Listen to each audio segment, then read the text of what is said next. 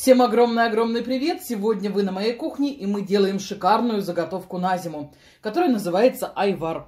Я такой заготовки обычно делаю много-много баночек, и то не хватает, потому что есть вероятность скушать сразу все со сковородки. Минимум ингредиентов, максимум пользы зимой. Давайте я вам расскажу, что нам нужно взять.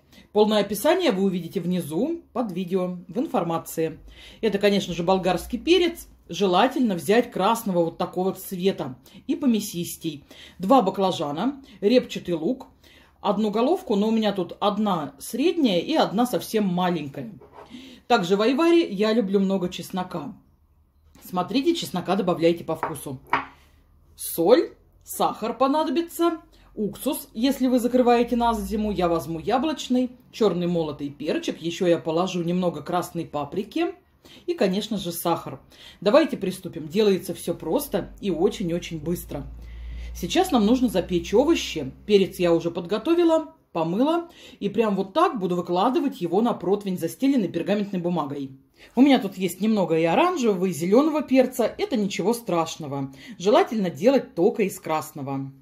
Баклажаны тоже мою, убираю вот эту часть, этот хвостик. Также срезаем у баклажана попку и разрезаем баклажан на две половинки. Немножко делаем насечек. Это чтобы наш баклажан быстрее пропекся. Вот так. И выкладываем на противень. Отправляю все овощи в духовку, разогретую до 190 градусов, где-то минут на 30. До полной готовности. Готовые баклажаны перекладываю в глубокую миску. Вот так немного накрываю пищевой пленкой. Даю чуть-чуть остыть, чтобы лучше отошла шкурка. Как бы создаем им такую баньку. С перцем сейчас будем делать то же самое. Плотненько-плотненько укутали. Перцы также перекладываем в глубокую миску. Закрываем пищевой пленкой. Создаем им такую там баню и даем остыть. Так кожа будет лучше сниматься. Лук и чеснок мелко нарезаем. Я для своего айвара буду использовать одну большую, вот такой зубчик, один большой чеснока. Лук отправляем обжариваться. Добавляю 2 столовые ложки растительного масла и обжариваю до золотистого цвета. Прошло время. Теперь очищаю перец и баклажаны от шкурки и отправляю в чашу блендера. Какую-то часть перца и баклажанов я буду просто мелко рубить ножом. Мне так больше нравится. Как только лук подзолотился, отправляем сюда чеснок.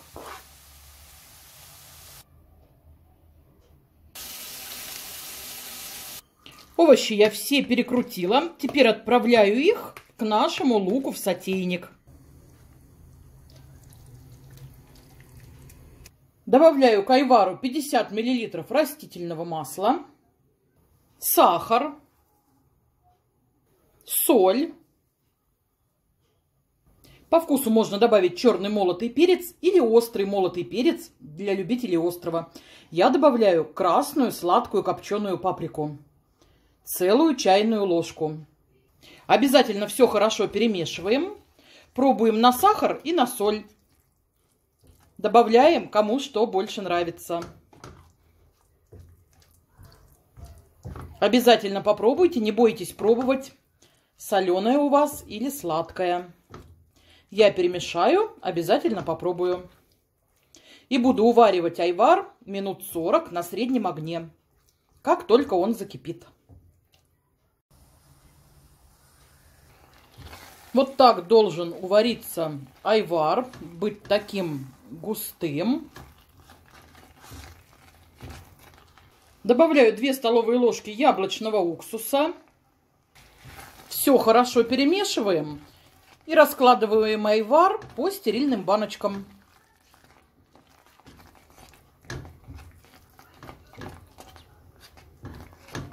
Я уже готова прямо сейчас со сковородки мазать на бутерброд и кушать. Это очень вкусно. И закрываем стерильными крышечками. Крышки я просто кипячу. Вот так. вот такой очень вкусный айвар мы с вами сварили. Это обалденная закуска на зиму. Попробуйте так приготовить, это очень просто, легко.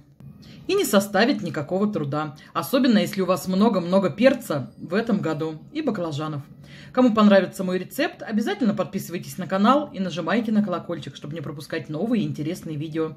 Также заходите в группу ВКонтакте и поделитесь моим рецептом со своими знакомыми. Я думаю, они очень обрадуются.